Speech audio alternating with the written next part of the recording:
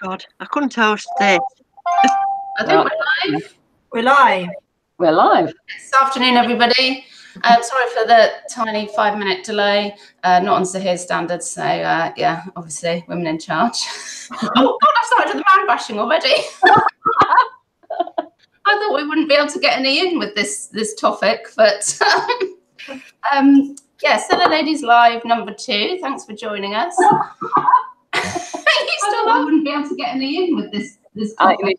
Oh, you? Oh, I'm not. I'm not muted, am I? Yes. no, go on to YouTube window, mute it. Can somebody Hi, speak up see if I can hear them? Uh, sorry, I'm going to need to find out where I can mute. Right, go onto your YouTube channel. You know where you've got your YouTube window open? Go on that and press mute on the video.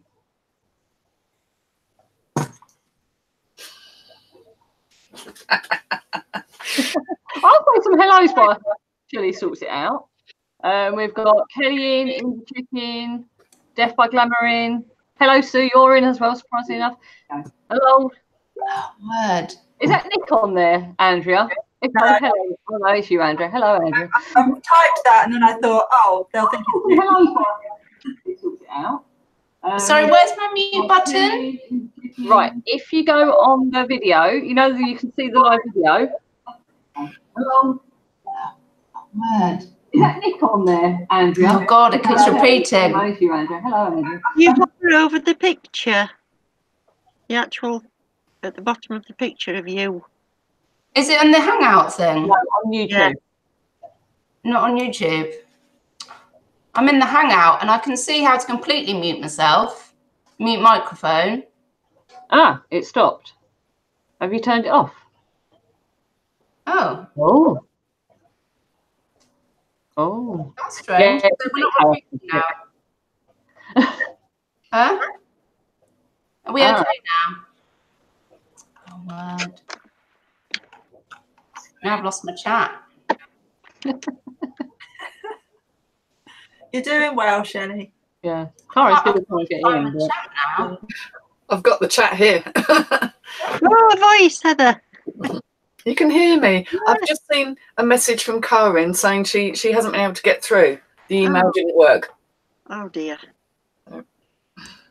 Right, apologies everyone. I'm just uh, going to get the chat back up. But there's no repetition of um of all of our voices now. No, but if you open YouTube, make sure when it goes on the screen, you know the screen of the video, you press the mute button at the bottom. Oh right, yeah, that's what I'm about to do. Mute button at the bottom. Yeah. Oh yeah, it's because I got rid of the video that it did it. Yeah. it's the video that's playing back through your speakers. Ah, I can see it. I can see it. Bear with everyone. Yeah, bear with. Sorry. It's amateur hour. After my bit of man bashing, right, I found the mutey bit now. I'm scared because it's my turn next week and it'll be even worse. Oh, no, I'm thinking of what, what Actually, you're an expert. there, I'm not. I let Nick do it, so I just watch.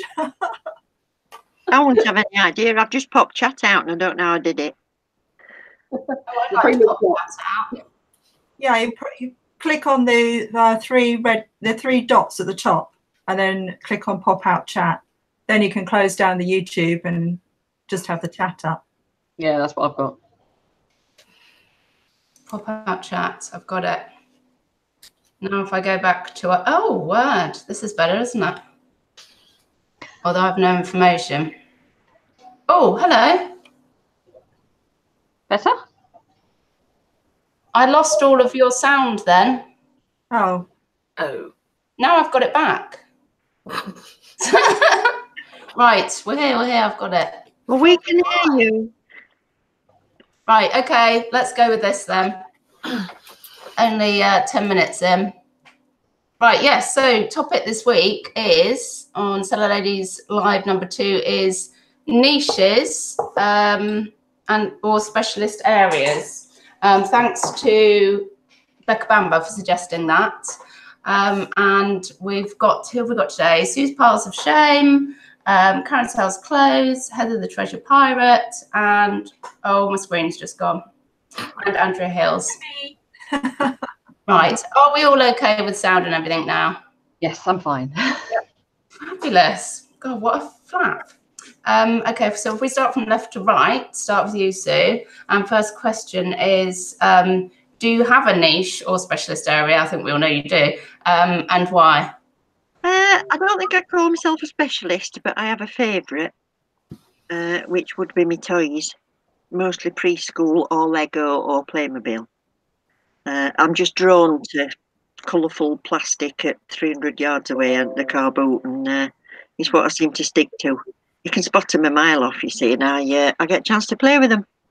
Uh, and I know a fair bit about the bits that I pick up, but I won't say I know a lot about toys in general because others know figures and electronic toys and all that kind of thing. But I think it would be nice to have a niche where you you know everything there is to know about it. Yeah, to be fair, I think that um, you're selling. Oh no, am I repeating again? Turn your speaker down. Turn my speaker down. Yeah, turn the speakers down. It shouldn't repeat through so much. Okay. Um, I think you're um, playing, doing yourself a disservice there, Sue, because um, I've seen some of your videos. The stuff that you're doing, like with that that Sylvanian um, hotel the other day. It, I mean, like literally, like, oh well, there's a fork missing there, so you will find every bit. You sort of get used to your your thing, which is why I think a niche is good if you if you can stick to it. I like to do general stuff if I think there's a profit in it as well. But like um, you girls are with your clothes and things, I want to to know all these brands and stuff. You know, Heather will talk about them, and Andrea and you, Shelley and Karen, and and I'm like, no, I'll have forgotten that tomorrow. But I suppose it's what you're interested in, isn't it? You enjoy playing with Yeah. toys. I don't think I had enough when I was little.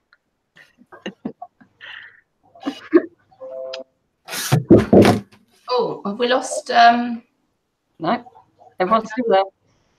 Drop my phone is all. Oh, I thought he'd fallen over. no, I've lost Sue a bit. Have you got me? Yeah, I have now. Did everybody else lose sound then? No, Oh. no, you've got gremlins. Um, oh, that was something I was going to point out actually. That um, although yeah, it's called niches, specialist areas. None of us are actually professing to be specialists in any any of these areas. It's just kind of stuff that we're drawn to um, and like um, like selling for whatever reason. So um, yeah, Karen, can I ask you the same question? Um, I wouldn't say it's niche, but if you can't tell by my name, yeah, it's clothes. Women's clothing, basically. Um, I'm competing you with you, you know, Kelly, for cashmere status here. Um, the amount of cashmere that I'm picking up, but I'm in it because it's what I can get. It's everywhere around me, and I have no interest at all in electronics. I just, I just don't. Um, and most other stuff is quite overpriced. Whereas I think clothes are in such abundance, it's easier to go down the clothing route in some respects. Yeah, yeah, it's certainly readily available, isn't it? Um, Heather, do you have a niche or specialist area and why?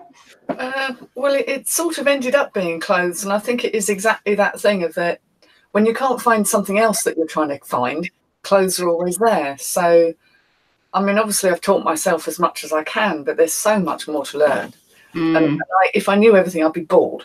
And I don't know everything, not by a long shot. But I, I can, I'll happily take a punt because if I've paid two pound for something and it feels nice, or it looks nice, then it's worth it, you know. And that's how you learn. I was so lucky yesterday because I happened to be going to charity shops and I found three pairs, three of Salvatore Ferragamo shoes. I've only ever found two pairs of those in the last three years. Um, and a pair of Russell and Bromley um, loafers as well, which will more than pay for my day out. So I love shoes, but they're more sporadic finding good ones. Clothes, mm. you know, you're going to make when you're full time like I am. You're trying to make a living. Clothes work for me. I can't do computer games. I can't do electronics. I, I've had a go, and I, I it just isn't me. You know what? I bet we all could do all of these things, but if, if your interest isn't in it, then you don't want to learn about it, really. But that Sal- Salvatore, for, I don't know how you say that. Was it you? that was talking about it? Ferragamo. So I haven't, and you know, when picking up from you, I'll tell you what I picked up today. Well, just before this was a Desigual dress. and I only know about that because of you. Oh, Yeah, I'll show you. I'll show you all. There we go. Salvatore. These have basically never been worn. Wow. Um, I did pay eight pounds for them, but they're leather soles. You see, leather soles is always a giveaway. yeah, that's always an indicator, isn't it? Yeah. So, what would they go for then? What would you? I'm for? not exactly sure because I only picked them up yesterday, but from eight pounds, I've got to make at least fifty on them. Um, That's worth although it. there's a pair I want to keep, which are these. Ah, These nice pointy witchy boots. They're just me. yeah. Um, They're nice. yeah, they were six pounds. But yeah, it's um, it's just trial and error. I mean, I knew they made handbags. I didn't know they made shoes. But if someone works in leather, you kind of know the clues in the, you know, what they do. So yeah, Cool. Um, can, can I ask the same question to? Oh, hang on. Do you know what? We're all moving as we go across the. Um, um, to you, Andrea. Niches, specialist areas. Do you have any and why? Again, not a specialist or an expert in anything. Um, and again, clothes because I just ended up doing that. Um, I think I'm drawn to vintage things and sort of vintage homeware and, you know, just anything vintage really because I like it. Um, I think what Sue said is really interesting actually that um, if you do what you like and you carry on doing it, then you learn as you go. And um, you almost become an expert in it because you pick up the knowledge as you go. So the more you do of something, the more knowledge you pick up. So So you didn't go to Wicker University then? no, no, did you? What, just part time course? you find that um, you know you end up because I've like said, oh, I've got this and I've got that. Then people start messaging you and saying, oh, could you could you what is this and can you help me? And I'm like, oh, um, I'm not really an expert. Yeah, I, get that. I get a lot of that on, on Instagram actually. Yeah, that's I really don't know, honestly. Just tell Yeah. people to look it up. But yeah, um, but like Nick does all the computer games and media and board games, and I have zero interest in it. You know, we had that game shop for years, and I looked after DVDs and CDs. He looked after the game side of the shop. And I just, you know, people would ask me questions about gaming, and I'd have no idea whatsoever. Yeah, exactly. I know, and it's one of those things where I kind of think, God, I know there's money in it. I bet there's. I bet we're all just leaving money on the shelves, you know, in the charity shops and that. But just yeah, Yeah. you can't be in it. Well, ex, but you can't get into everything, can you? yeah, if I was doing it on my own, I wouldn't pick it up because I just wouldn't have an interest. Yeah, yeah. Because I I, don't, I don't think I'd like to film myself going around a charity shop and stuff because you'd all be screaming, Sue! Yeah, I think Olympics just made a really good point in the chat. Actually, she said, "I think that niching really helps when sourcing. It would be impossible to look for every single money-making item at a car boot or a charity shop." And I think that's true. If you looked at every item, how long would it take you to get round, and how much would you miss because you're going, yeah, because it's taking you so long, especially at a car boot sale. yeah. yeah. I was going to try and say hello actually to whoever's in here, but I can only see a smidgen of the chat. But I'll try. Um, hello, Indy. Hi, Kelly. Oh, Karen, you're in the chat. Um, who have we got else here? Death by Glamour. Sue's in the chat. Is this Nick then in the chat? Oh yeah. No, it was me, but he's here, Oh, Hello. Yeah. peeking by the door. ow. Oh, Um, Anne Isaac. Of course, it's slowly moving down. Claire Sheen. Um, moving down. Kath Palmer. Oh, that's, I think, am I up to date? You got Dean Keckley as well. I can see. I Mm. think Oh, yes. Yeah. Lovely. Thanks for joining us. Um, I can't read that. Yeah, oh, what was I going to say about um, niche specialist areas? Um, yeah, so I think by thing is with me, I kind of niche specialist areas or things that I'm drawn to, I can pick like one thing up, and if I get it for a reasonable price, and then I sell it for a, a decent amount, I'm like, right, that's it. That's what I'm looking for now. So I start. I've been, uh, to be honest, I feel like I've been through millions of them in a space of about six months because um, I started off because at one point I think um, if you know Jason Reselling from Insta, he I called him the Brass King, and he was calling me the Paperweight Queen because I, I sold a paperweight. I got a paperweight and it sold. And I was like, great, I'm picking up paperweights then. And I've got still got a flipping shelf load of them because I'm like, that's it, paperweights. Everywhere I went, I looked for paperweights. and now I'm like trying to get rid of paperweights. The other one is a good seller, but obviously you can't live off paperweights. Um, and then same probably is going to happen with the, oh, I think we've all, well, have we all been through the like, oh, I'll do soft toys because they're really easy and they're everywhere and they don't break and oh yeah. And then you end up with millions of them and they take up loads and loads of room and you're like oh god. Most of them don't sell.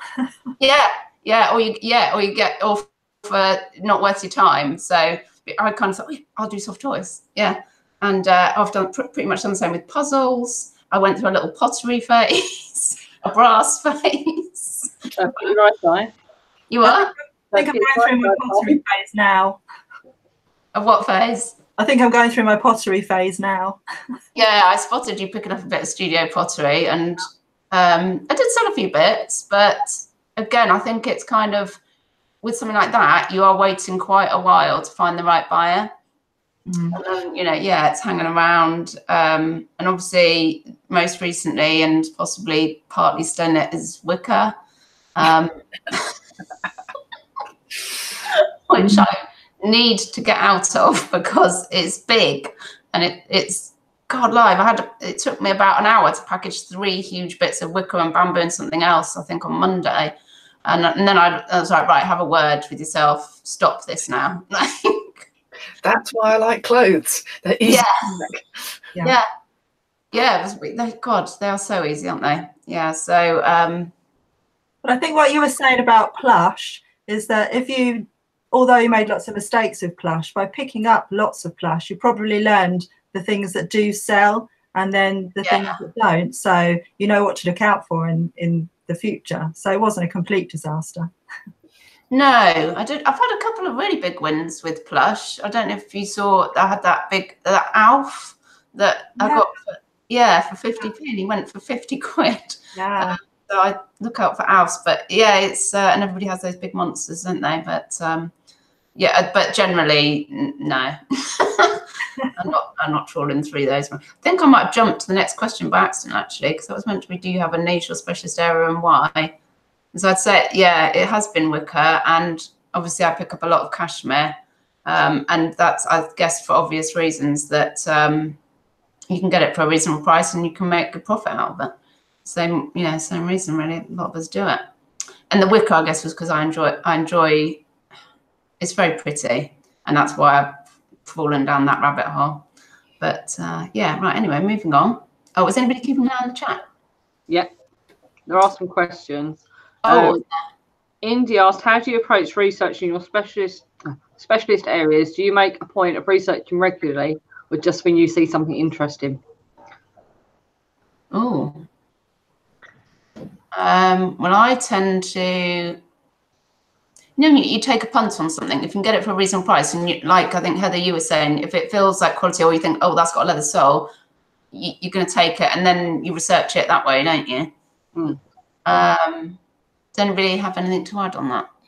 Um, I'm too lazy to go around and literally spend hours, and I'll admit it, spend hours sitting there trolling eBay, trolling fashion magazines to see what's on trend, to see what designs to look for. I do follow a few on Instagram, a few fashion vloggers, because it's kind of like the lazy and the cheats way to see what's on trend. Um, but as for sitting down researching completes and solds, I think if you go into a certain area, whatever that genre, like whatever that area is, whatever that genre or niche is, like with clothing or fashion with electricals, I think you do get to the point where you can tell its quality by the tag, you can tell its quality by its cut, you can tell its quality by its stitches. Then you look at them and then you may research if it's a high or low. Yeah. I like, I like to research as I've picked something up. I might spot something and it looks like um, tiny little plastic castle thing, and I think, oh, I haven't had one before, and it interests me, and I know I'll remember it once I've looked it up, so that it's either worth it or not worth picking up again. And then they've turned out all right, some of them, and I've got decent money for them. But if I just went into eBay and looked for highest price, whatever in a category that's sold, I won't remember it. Mm. I'm not really interested in it. I just won't remember it. Yeah, Al's Attic says once you know your niche a little, you should be able to pretty much go on gut, I think. Can't research Yeah. everything. Yeah, quite. Mm. Um, it's hard as well when if something's like, oh, uh, you know, it's not just a quid or something, it's like a tenner, and you're like, oh God, should I take a punt on this? Um, yeah, but you have to go with your gut. Uh, you, you, like you can't be around um, in the charity shop looking everything up. I think Mm. Caroline was saying that the other day, wasn't she? Caroline, this is um, Yeah. There just isn't time. There's not enough hours in the day, and and it is. Sometimes I just think I like that. Um, it looks good quality. I if if I'm not overpaying, then yeah, I'll, I'll grab it and research it when I get home. I think it's far more fun flying by the seat of your pants, which is basically my way of doing everything in life. It's, it's just much more fun. when yeah, it's proper treasure hunting, isn't it? Yes. I'm finding it helps if something I want to take a punt on. I'm not sure if it happens to be somewhere around my size, and I quite like it. I think, well, I could always keep it. Yeah, I do that as well. yeah, or if it's a homeware item, I think I, I buy it because I like it, and I think, well, if it hasn't got any value, I'll just keep it. yeah. Or you get it and you like it, and think, well, I'll just stick it up really high, and then that pays off sometimes. Yeah. Um, yeah, I might have answered the next question myself already, but um, if we start, oh, this is confusing. Start back with Sue again. Um, have you got Have you got any previous niches that you've dropped? I've pretty much stuck to toys. I've uh, joined forces with clothes because there are a lot of them around. But if I can't find toys in a particular car boot or a charity shop, I'll then go around again and look for the clothes and shoes and that kind of thing. Um, but they're a bit ad hoc that when they happen or when I see them, or I get a bag full of goodies and I think, well, it's cost me a fiver, so it's worth having a go and Yeah. looking it up. And um, aside, have you enjoyed the clothes that you picked up, or has it just been? To a point, I quite like doing uh, jackets. Um, hate doing trousers, but sometimes they're part and parcel of a suit or something. But uh, I like things that'll fit on dolly, that are going to look nice. You know, fitted jackets and that. You know what I mean? I'll put a bra on her and all sorts to make it fit better. do you have any luck with it? This is also off track, but do you have any luck with jacket? Like, do you mean like suit jackets? Um, more that you wouldn't have worn as a business suit, but you'd have worn it as a jacket with jeans or tailored. But I mean, I had a good diesel one, uh, which was a very fitted denim jacket, and that one sold for forty quid. And then some sort of fitted Marks and Spencers little box jackets and things. They've been good. You know, like wool content. Like Heather was saying, when you get a feel for something, and I'll sort of feel down the sleeves on the coats and think, oh, that feels nice. It's got a bit of your cashmere in it. Yeah, because I that's another thing that I'm kind of trying to boot out uh, uh, with the coats, the jackets.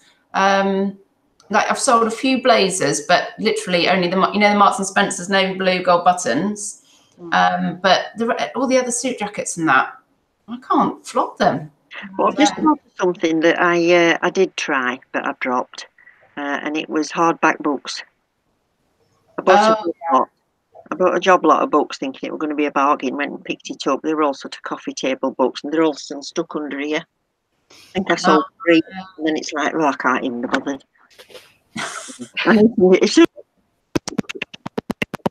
Oh, serious. oh, you went all funny then, Sue. Oh yeah, a bit blocky. I thought it was me. um, yeah, because who was I um, uh, on Insta? It was Caroline making lemonade, um, and she she sells some coffee table books. Um, was it a Jasper Conran, like a home book or something, for good money? And it was on eBay, not on Amazon. So I was kind of like, oh, lots of interest then. But oh, you can get into a right pickle, I think, humping books home because they're blooming heavy, aren't they? Yeah. Um, yeah, I've sold a couple of Stephen Kings, but yeah, I can't be asked to get into that. Oh, oh, I can do what I like on here, can I? I'm not monetized. um, and uh, Karen, same to you. Have you got any pre, uh, previous niches that you've dropped? I wouldn't say I've, well, um, obviously before I started recently, I was selling beads and that was on eBay and Facebook and that just got completely dropped. Um, But none of the others I'd say I've completely dropped. Yeah, I do mainly clothing. All my units this side are all clothing. Um, obviously I've got grandma shelf and then them units there, I've got four units there which are non-clothing. So I'm not only clothing, though I am special, well, do go more into it. But I wouldn't say I wouldn't pick them up again unless it's things I've picked up and they've not made money. Then I won't pick them up. But I wouldn't say I've dropped anything. But I agree. What about the jewelry? no. Huh? You know, like you were like picking up quite a lot of uh, job lots of jewelry at one point, and did you say that you were going to try and drop that?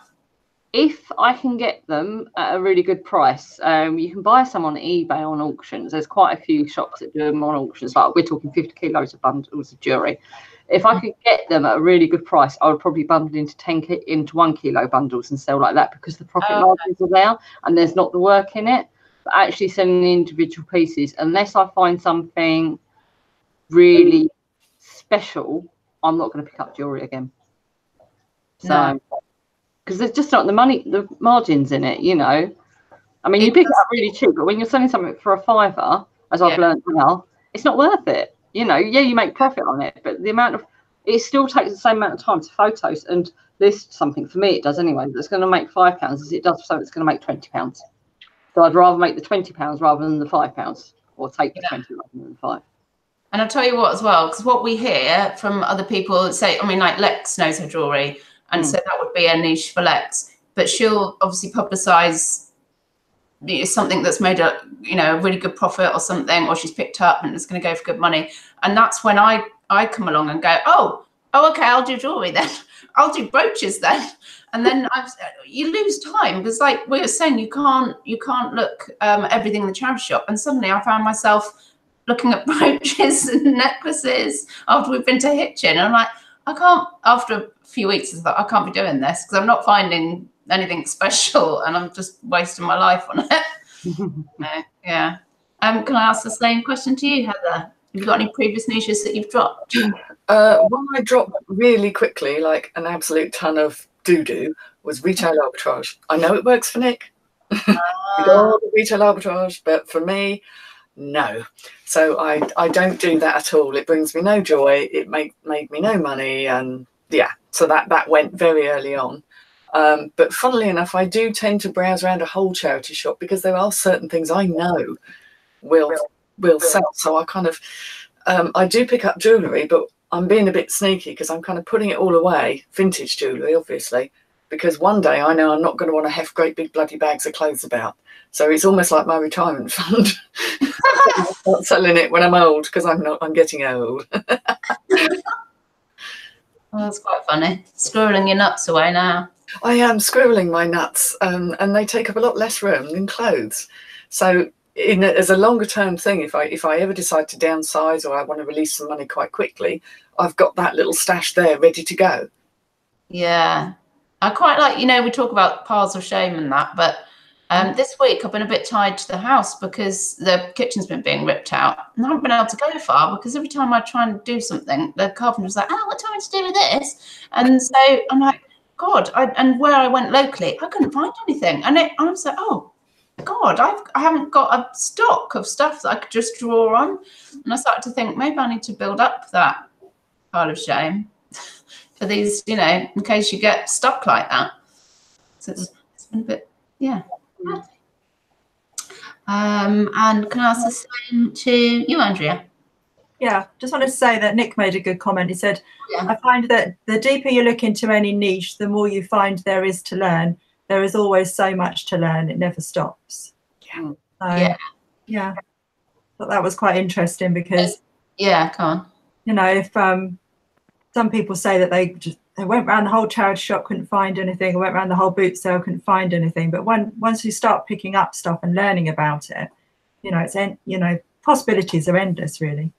Mm. Um, Yeah, and I think we all proved that in Hitchin, didn't we? That we were all going around the same shops, but we were all finding different things. Yeah, yeah, absolutely.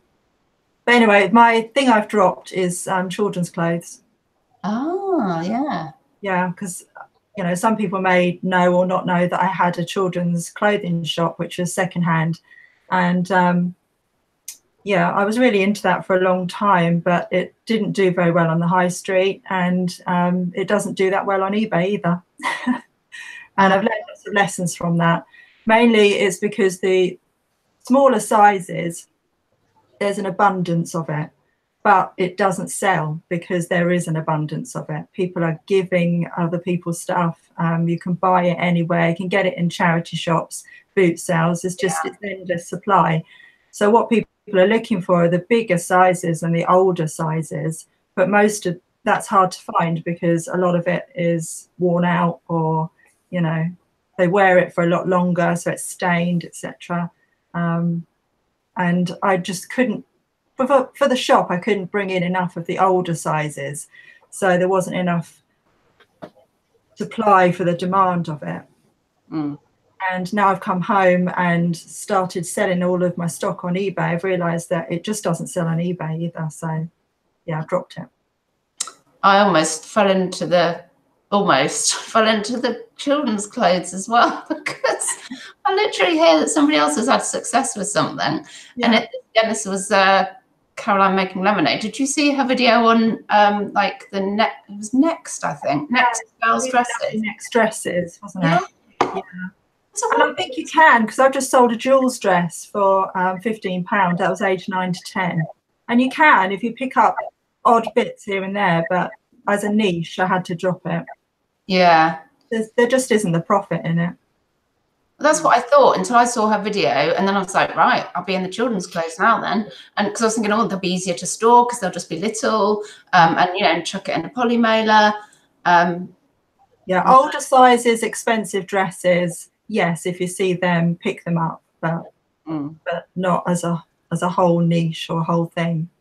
yeah, Just yeah, was just- I would have actually learned some of this stuff because I was selling previously for a charity for a year and I was just reliant on whatever turned up on my doorstep, like the donations, and it could be sacks of crap basically. Often I was just like bundling stuff together to try and get some money out of it. Um, and uh, yeah, but no, didn't entirely learn to be honest. I learned that I can't stand doing Lego. Boxes and boxes of that. but there you go. Um, actually, I think um, Indy might have preempted the next question. Oh, no, it was Indy. Mm-hmm. No, it was Death by Glamour. If you're listing stuff you're not interested in, and you tend to be lazy with your listing and don't put 100% into your listings, which is another reason to, yeah, kind of go for what you love and specialize in it, I guess. Um, so the next question was, do you think we need niches? Um, can I ask you, Sue? Uh, I don't suppose you need them, no, because you, it depends if you could just have an eye for anything with a profit, and you might like variety. Uh, you might get bored if it was all toys or clothes or whatever, and then you don't put the effort in. Because I find I struggle with that sometimes. As much as I love them, you can have a day where you think, "Oh, I can't do another one of them." Um, so if you've got some variety, that's what keeps me going. Because I can think, "Oh, toy day today, clothing day today, jewelry day tomorrow." You know what I mean? Um, I reckon you can don't have have a niche, but I think it's good if you can. If you, I if- think I think you've still got a niche though. I think we, you might just have a handful of them. yeah, Yeah. Um, generalist. go on. Generalist works for a lot of people. Yeah. What do you think, Karen? Do you think you need a niche?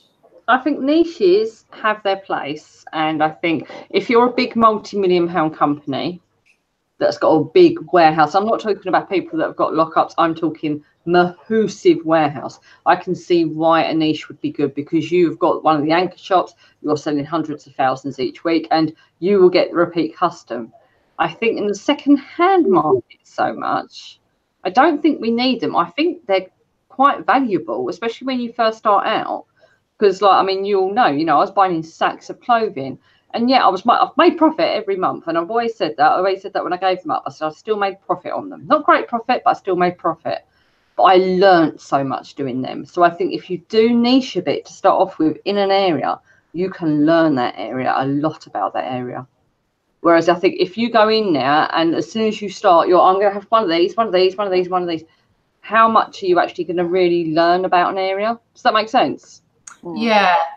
Um, actually, that's a, sort of leads on to another question. Do you think, like you're saying, like people, it might be useful if you have a big warehouse and a big, like some people think, well, my shop, my eBay shop is all about clothes. Um, so if I'm going to sell, I think Pound Girl does one because she does her vintage furniture and um, collectibles. And I think was she getting into clothes, and she thought, well, I need to do that on a different shop then. And I, I don't, I don't know if you do or not because of you know like. Well, see, I haven't got a fo- like a following like she would have who are coming back for particular furniture. And maybe if a next top pop popped up in there with the sideboards, they might go, "What?" But then on eBay, don't you think people people you know they'll just search not necessarily through your shop anyway I think consumables, they will search for, they will go to specialist shops. Like before I was selling these, I used to make jewellery. I done it basically fight depression when my kids were younger. Um, it was something for me to do. It's me to take time out. And I used to hand make jewellery. And I used to only ever go to two shops on eBay because I knew their quality was good and I knew their service was good. And I actually had them shop saved. So I'd go back time and time again. I'm not sure if you go and buy a pair of jeans from eBay, you're going to think I'm only going to buy from that seller, especially with how we find items. You know, I think I don't know, maybe what's her name? You know, Leanne, the one that does that's got the warehouse just opened a shop unit or whatever, hasn't she? Yeah. I think she may have a following because of the way she her business model works. Because she does a lot of auctions as well, doesn't she? And she's very me, I'll do clothing that's meant for a little skinny mini 16 year old, and I'll do clothing for a plus size 50, whatever, you know, 60 year old. You know, I'm not I'm not saying I'm only going to do clothing for that little area. You know, I, my shop would be no good on something like Depop because I just haven't got enough of the trendy stuff that and the labels that the kids want. is depop like reliant on you um going back to the same people or people and you who know or something It's very social media based, so it's Yeah. all about sort of getting to know people and you know promoting with hashtags and all of that. God who wants to do that Yeah, Being I've tried it, but I've had no success. I'm too old, I think. yeah. um where are we heather um do you think we need niches And well, it- like you say, it's useful to learn. It's useful to learn about certain areas. I do sneakily pick up bits of pottery, and I'm a magpie. So if I see something that catches my eye, I like to take it away and research it. And I'd love to know a lot more and make that a niche. But there's a lot of people that know a lot more than me, and I'm still dabbling about with it. Um, in clothes, again, much like Karen was saying, I, I sell anything really, from something for someone very young to something for someone much older, or anyone in between. I do have certain niches. I tend to, to have a real thing for military jackets, partly because I love them, you know, and I do like there's certain sort of goth items that I know are going to go well because I know people who wear those things of every age.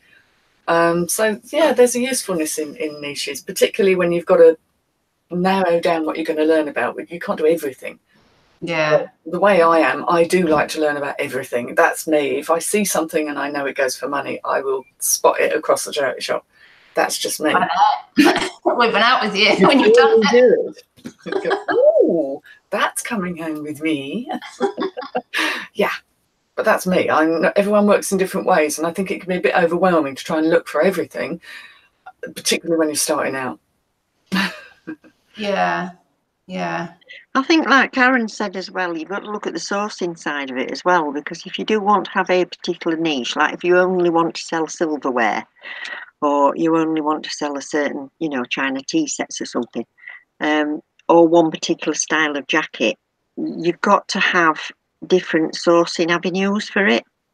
Whereas if you're a generalist, you can think, right, I'm out to one car boot and 10 charity shops, and whatever they've got, I'll take it, and that's it. So you're not going in blinkered. Mm. Whereas you might have to go a lot further afield if you're only wanting to buy silverware or do online auctions or, you know, Yeah, I, I also agree with what Karen was saying is that I think the way people shop on eBay is if I want a, a long black maxi skirt that's got ruching on it, that's what I'm going to search for. I don't actually care what shop it comes from. Um, and I don't necessarily assume they're going to have more of the same sort of thing. Very rarely do I want to browse someone's shop, especially if it's they've got a lot of things listed. Um, so yeah, I don't think there is a customer loyalty thing. I, you can monitor your amount of repeat purchases um, somewhere in the eBay Yeah. thing. But to be fair, there's so little of that. It doesn't apply to me. I don't feel it does. So I, I, I don't feel the need to build a brand or a pretty shop or any of that shit. I just need to get my shizzle listed, Yeah. get it sold. you want it or not? Please buy it and don't cancel. Don't cancel the tarot cards when you paid me 175 pounds for them, and then cancel on me this morning when I wake up. Thank you. God, yeah. If you see these out and about, pick them up. They're worth a lot of money. Oh, there we go. Are those those quite vintage ones. These are these are from 1977. Yes, but uh, I mean, again, that's sort of a specialist area for me because I know about tarot. Yeah. But and a lot of charity shops would rather they were out of their shop very, very quickly. Oh, that's interesting. Yeah. I don't like them; it spooks them. So I'm like, yes, Yeah. Didn't you have some Karen as well? Yeah, I've got them waiting for Heather when I meet up with her. Oh right. I don't like them. Oh cool. okay, we'll put that to bed then. I want to pick them up. Um, Andrea, do you think we need niches? I don't think we need them now. Um, I think. Sorry, go on. no, I'm just going to say we've been doing it for 17 years and we've been between us generalist sellers. Um, our store, we just have one store, we throw everything on it and um, it, it works for us. So I don't think you need it. I think there is some merit to having, you know, if, I've had this conversation with Nick. Should I have a separate store just for clothing?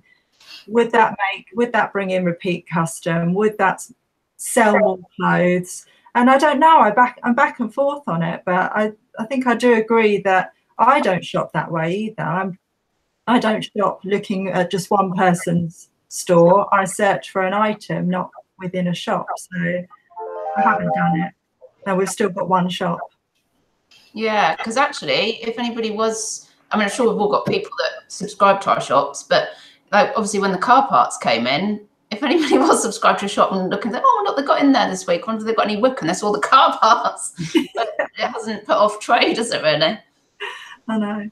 So that's Um, a real- I do think, I mean, I'd never go down the shop route, the two shop route, just to get my clothing separate. I mean, I'm looking at decreasing my listings. So what I'm about to say is neither relevant at the moment. But when we move, and that is when I will probably even kick it up even higher, but with a different business model, I may consider two shops if it works out financially cheaper. That is, I think that's the only time I've considered two shops because that hike at the moment between feature and anchor is such a big hike. I think if it was going to work out cheaper for me to have a feature and a basic, I would Yeah. probably separate doing the clothing on the featured and the base would be the other one. But that's the only time I'll even consider separating it. Fate Rachel did that, I think. They got full on one shop, and the the next step step up's mental, isn't it? The uh, like hundreds a month, um, and she did the two. I think the only trick is is having to monitor two shops. I bet that gets confusing. Mm. Um, yeah. Oh, I was just looking at the chat. Where have we got to? Yeah. Got some questions here. Oh, can you? Uh, Right, Al's Attic said, Are you ladies mostly listing clothing £15 plus? I'm not picking up anything under that anymore as it's not worth the time. What are your price point minimums? Um, yeah, I'm trying to do that as well, to be honest. Um, I did go through a little, I did, I put my goals, uh, monthly goals on Insta, and I go through like, right, this month I will only be picking stuff up that I can sell for at least £20. Um, and then, of course, you're just, or you, you take a punt on something and you can't sell it for 20 quid, or, you know, it wasn't, that stuff wasn't available in the charity shop. And I don't know whether, I don't know whether how selective to be, whether to say, right, well, I'm not going to waste my time on the stuff that's worth less. Um, you know, if if they're and come out with nothing, it's tricky to like or think, well, I- there's a few bits there I could put on for a tenner, or I come with nothing today. Not really sure. Um, what do you think, Should we go through? Uh, where are we, Sue?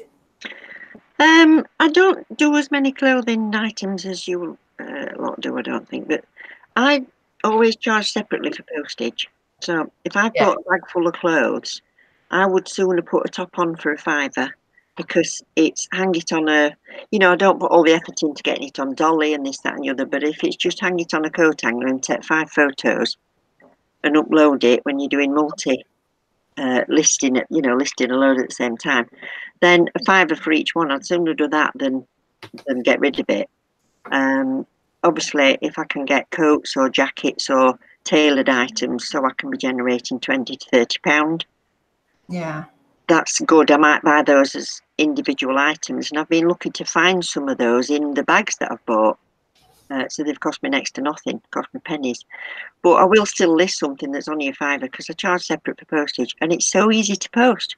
It's a damn sight easier to post than the Sylvanian Family Hotel, which, you know, 15 um, items could sell for the same price as a Sylvanian house with a load of bits and bobs, a load of cleaning and setting up and packaging. And I can shove them in a bag, so Hmm.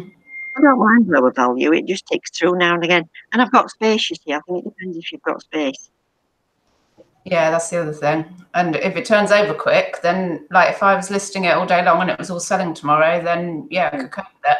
Um, but it's when you it keeps coming around and you have to keep relisting it and make a decision about it, and and it's not worth much. It's like, oh, gee, it's taking up my time. I think if you're stuck on space, I think you need to be trying to generate as much as you can for the space you've got. yeah, Um, mine just goes up the loft. It's fine. yeah. I of, in the garage the other week, kind of thinking I was looking at some shelves, and um, a lady that I used to know used to talk about um, prime real estate space. They're like my shelves I could get to easily. That's my prime real estate, and if I've just got if I've filled up already with all my lower value stuff, then I'm not I'm not using the space available to the you know the best I can, I guess. Um, Karen, we just had a big change on yours, haven't you?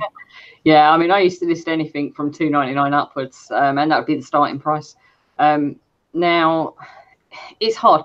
If I was to go to a charity shop or I was to go to a boot sale and it would cost me a pound or more, it would not be listed for less than fifteen. Does that mean it would sell for fifteen? Not necessarily, but that would be my start, my minimum starting price that I would try to sell it at. If I was to go to a filler bag still or a jumble sale and pick things up free for a pound or the whole bags I get for a pound when I go to the filler bag, I might be inclined for more than 10, even 8 quid because my business model now is going to be to have constant auctions running. And they them items there that have cost me pennies are going to be my auctions because I do find having auctions running keeps the mentality of your stock going, your Mm. store going. Now I don't do 99p auctions. I start it at my buy it now price and they don't always sell, but I do find that they help with my how many um, impressions and that I get on my shop and how many views I get on it. So Oh wow! Oh, so you look at impressions and views because I was just wondering how you knew. Is everyone looking at impressions and views? Hmm. I don't. I don't get that down into that detail. And what do you think, Heather- Heather? Are you, well, you're you're high, aren't you? Well, I, I try to be. Um, it doesn't mean that stuff always moves, and there are things that I pick up that aren't worth a great deal, but I'll still let them go. Um, I try to sell. I do try and sell the item for what I think it's actually worth, um, but yeah, I've got to be flexible because now I have got. I would say I've got probably a bit more stock than I need, so I think I'm actually considering now doing some auctions because I've kind of held off doing auctions because they seem like a bit of a faddle. Um, but if it's going to activate my store some more, then I what I might do is some of my older stuff just actually start it lower, but to, to move it and get it gone. Um, there's enough stock out there for me. I, I as a, being a generalist and being a clothes person, there's, I'm never going to run out of stock. So, How long will you hold on to something for before? Well, especially you haven't done auctions before. Have you just been hanging on to stuff for like forever, or Yeah, well, sort of. I mean, it is amazing that you go through periods when a whole bunch of stuff will sell and it's quite old stock for no apparent reason. So I'm not sure that just cutting everything to the bone or is is always necessary. I just think that eBay has periods of high activity for me and periods when it's gone. Yeah. And there doesn't really doesn't seem to be much logic. You just have to plough on regardless and look at the bigger picture of well, at least this year I know I've made more money than I made last year, and try and not take it personally. Yeah. it's hard, isn't it? it's hard not to when Tarot cards. yes. Yeah. Uh, what do you think, Andrew? Got um, like minimum price points. Um, probably. I've, there's one or two very old bits that from way way back that are on for less, but I'm not going to let anything go for less than sort of twelve ninety nine. I think I yeah, I aspire to what you're doing. what about you, Andrea? Yeah, well, I'm a really slow lister, so I'm realizing I'm, I'm needing to pick up things with a higher profit margin now because it just takes me so long to list everything. So it makes more sense to have higher value things. But um, in terms of what we do together, I mean, you know, we we sourced um, a load of Christmas CDs a couple of years ago. And we paid um, up to 10p each on them, and we're selling them for 2.99. But they're selling so quickly, and they're really easy to package. So it's kind of swings and Yeah. roundabouts. Like I think, like Nick just said, actually, that if if it's easy to package, it sells quickly, then it doesn't matter if it's a low a low value and a low profit margin. So yeah. I also think if you've got multiples of that item, because that's just one listing you've got to generate. You know, if you've got multiple, say you've got 20 of them, you're not going to mind only making two, three pound profit on the item because you've got 20 of them. So you're going to make more profit than with one individual item. Does that make sense? Especially if they're really easy to package and shove in a jiffy bag. Yeah. Yeah. Um trying to read the chat. I'm being a bit rubbish with the chat, sorry. Um actually so we've got one more question. Mm. Could be an interesting question. Um Sue, have, have you got any niches that you'd like to get into? Yeah. China.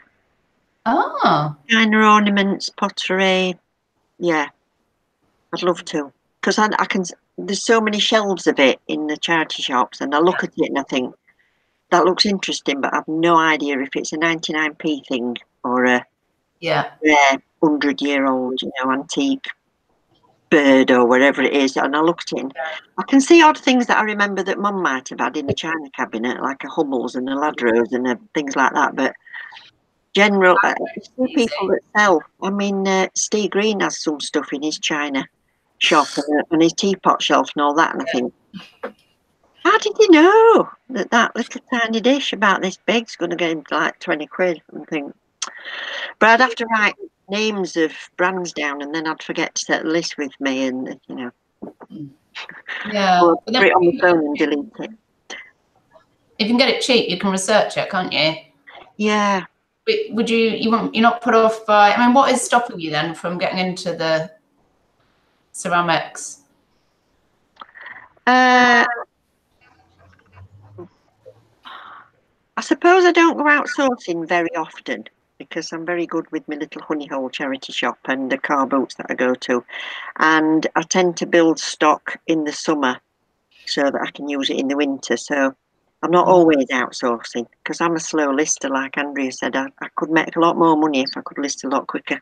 Um, but I think when I'm out, I'll go with just of a view to I'm going to pick up a few things today. That's enough for today because otherwise my piles will just get bigger and bigger and bigger. Um, and I keep thinking if I clear all this lot, then I'll have a go at it. But I never actually clear all this lot. Yeah. Um yeah, it's the packaging as well, isn't it? With, with uh, the pottery and stuff. The thing is that I know myself and I know I won't remember stuff. But you, you you're organising your lists, aren't you? Yeah, but I'd lose my list. You see, I forget. Um Karen, have you have you got an area that you'd like to get into?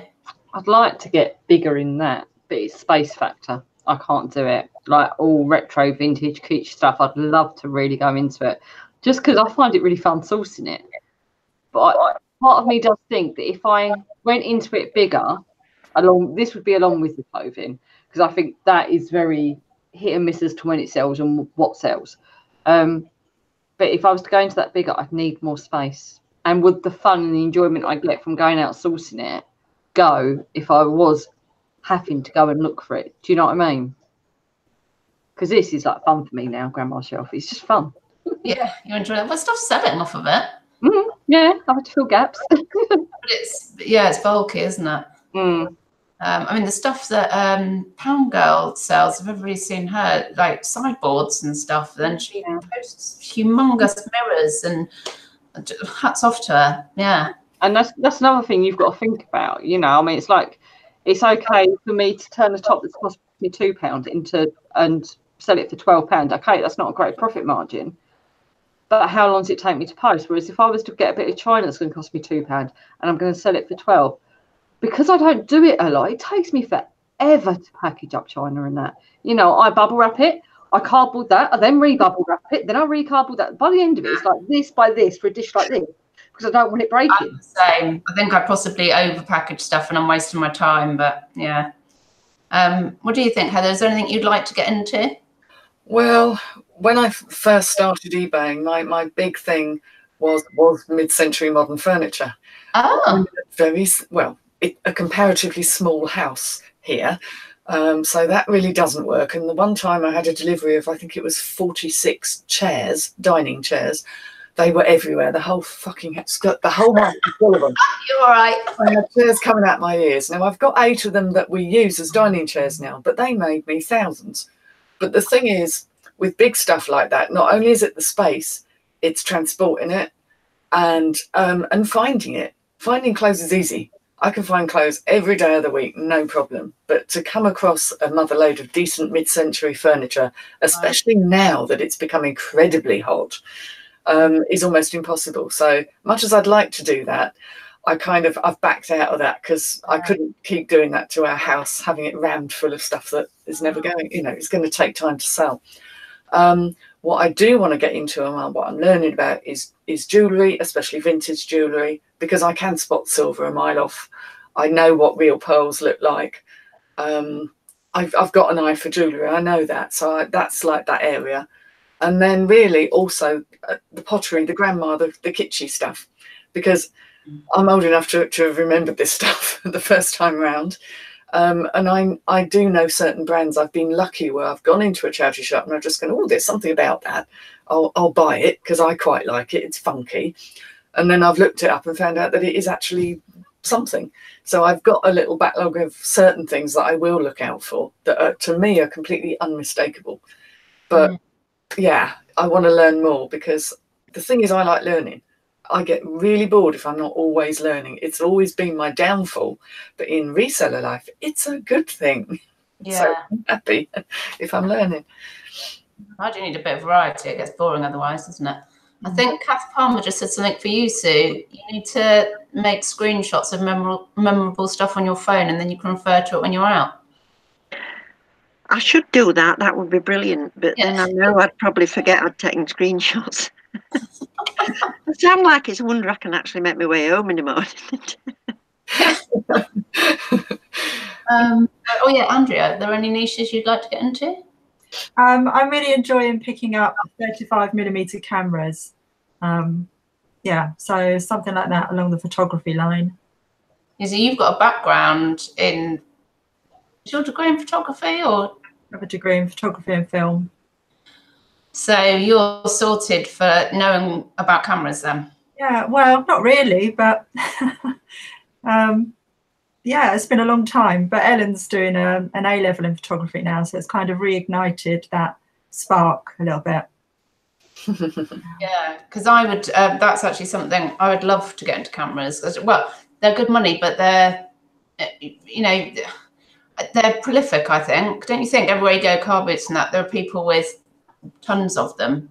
I see them. I suppose you do have to know what you're looking for a little bit. Exactly. Um, Yeah, I've got a little bit of knowledge of you know what to leave there and what to pick up.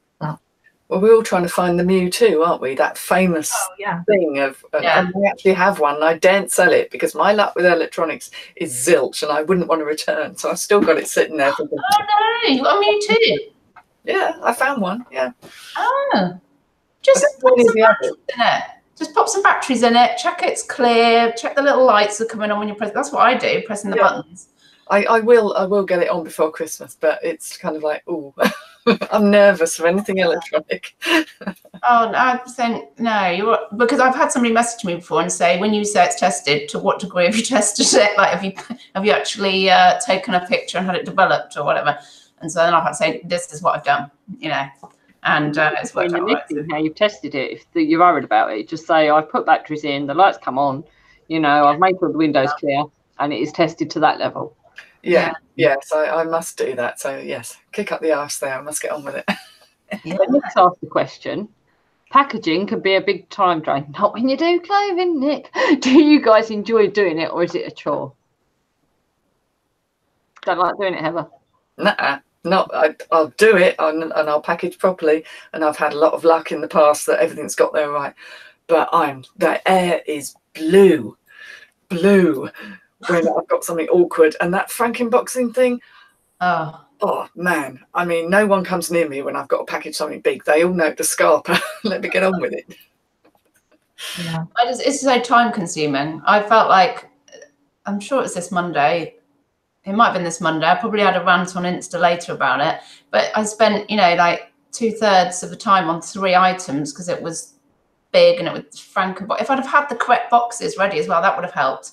I get a load of good boxes, but then stuff sells, and I think, oh, I'll get more boxes before that sells. Something sells, and you're like, oh my god, I need boxes, and I've got to like rip things apart, and yeah, I don't know, I don't enjoy that. I, I really enjoy throwing something in a little polymer that's already for you. Just peel that little thing off and do that, and it's done.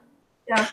Yeah, Nick does all of well most of our packaging, but if I help him, I always say I'm going to do the easy stuff. So I do all the media that I can just put in the jiffy bags, and I do all my my own clothing and just bring it into him. But anything breakable, I'm like, no, you you deal with that because it's- that's a bit of a boon, isn't it, from working with somebody that likes packaging? You can go off and he's so good at it as well.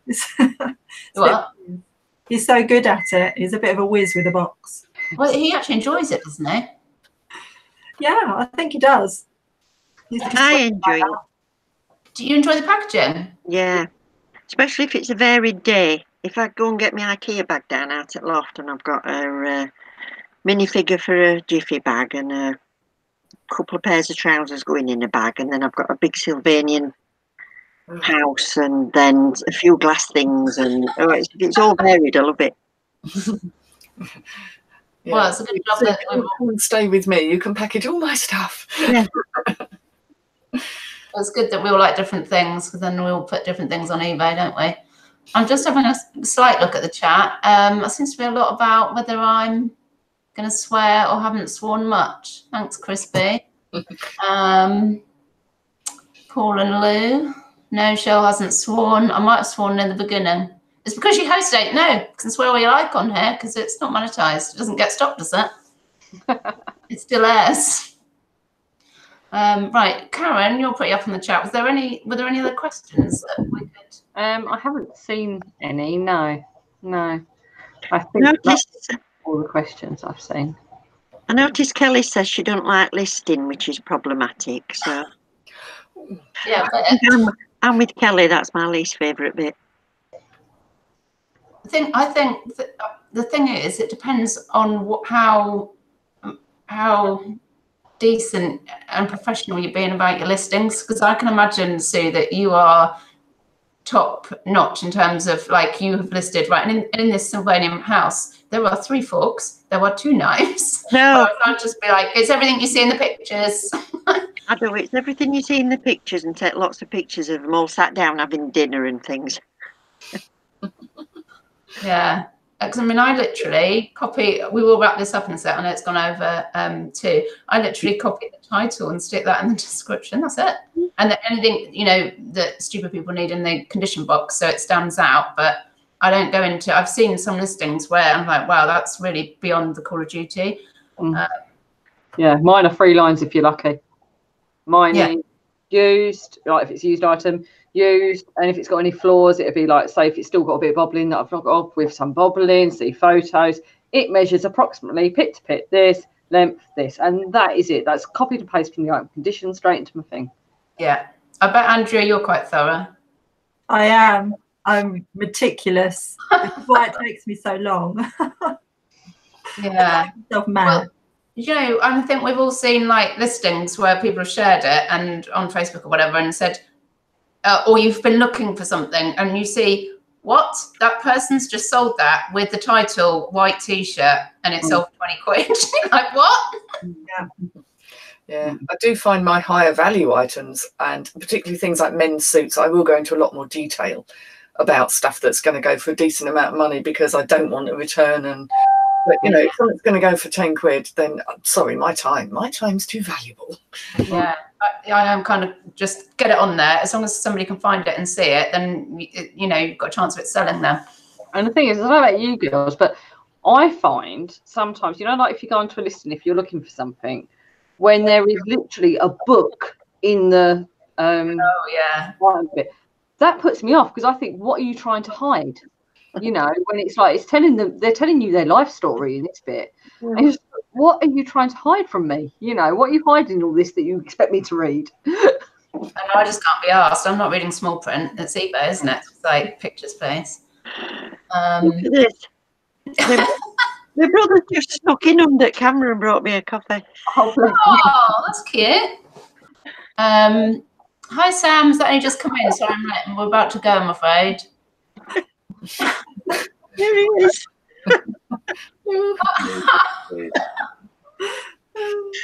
Brilliant. Shows you what sort of day I have, doesn't it? I had cake. Right, it's a lot of chit chat about swearing, and I'm not going to get drawn into it. Oh, Um, right, if there's anything anybody else would like to add before we go, No. Unless anyone can think of any subject for next week. That would be oh helpful. yes, thanks, Karen. And next week we are on Andrea's channel. We're all heading over that way. Yes. Bit scared. Oh, fine. Uh, um, can I just say, uh, right, first of all, apologies for the 10 minute debacle at the beginning. And also, at least I've done that. None of you can like cock it up as badly as that. So you're all fine now. don't wait till next week. And you, you can have Nick come and help you. So you're all good. Yeah, yeah. So if anybody's um, you know, got a particular subject, pop it over on Insta or Facebook or whatever, and uh, we can have a go at that. Yeah. Um, thanks everybody Yeah, for but I put up a, I'll put up a post in the groups and on Instagram as well, so you can comment on there. Fabulous. Cheers, everybody. Bye. Bye. Yeah, cheers. Bye.